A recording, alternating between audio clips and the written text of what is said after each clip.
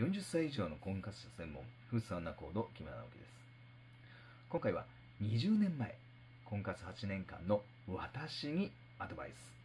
デートの後、1週間相手から連絡がない場合、相手は自分に関心がないについて話をします。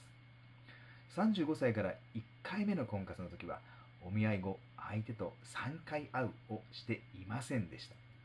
そのため、プレ交際の1回目デートで、この人結婚相手ではないかもしれないと思ったら、交際終了にはせず、自然消滅を狙って相手に連絡をしないようにしていました。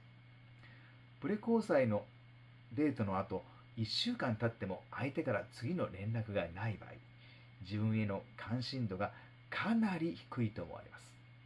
しかし、お互いに連絡しない様子見状態になり、婚活が停滞することは避けなければなりません。女性から相手に連絡を取って次のデートを促しましょう。〇〇に行きたい。喫茶店で話をしましょう。LINE のビデオ通話で話をしましょう。でも良いです。